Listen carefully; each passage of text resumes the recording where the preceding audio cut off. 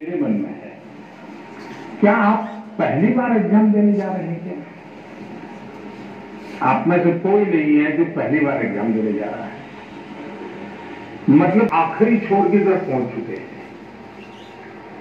इतना बड़ा समंदर पार करने के बाद किनारे पर डूबने का डर ये तो दिमाग में बैठता नहीं है।